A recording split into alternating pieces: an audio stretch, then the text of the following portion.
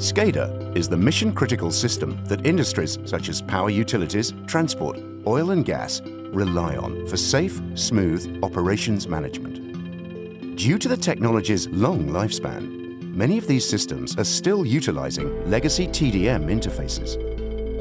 With TDM equipment and services being discontinued, these SCADA systems are at risk of being stranded by the latest advances in communication technologies. These legacy SCADA systems need to coexist with and be supported by IP MPLS, the next generation packet-based networking technology.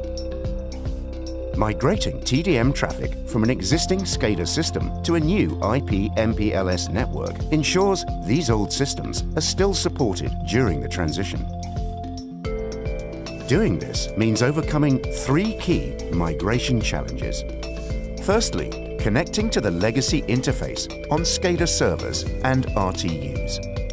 Secondly, transporting and bridging the SCADA traffic. And thirdly, securing the traffic. So, how do we securely transition to packet-based networks while still supporting TDM SCADA traffic?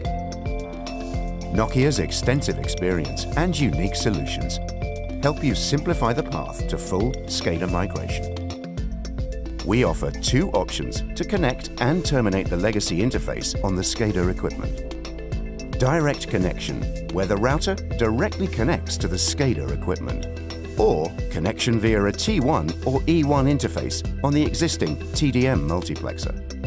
Once the connection is made, the next challenge is transporting legacy SCADA traffic over the new IP MPLS network. TDM pseudo-wire, a packetization technology achieves this by riding over the resilient and quality of service enabled label switched path, providing point-to-point -point connectivity between the SCADA server and an RTU. As SCADA relies on point-to-multipoint -point communications, a bridging capability in the IP MPLS network is crucial. Our 7705 service aggregation router family has technology unique to the market, offering built-in bridging and enabling seamless migration of legacy SCADA traffic. The bridging solution also offers SCADA server redundancy protection, simultaneously sending received SCADA traffic from remote RTUs to both the active and standby servers, with backup operation centers also making geo-redundancy possible.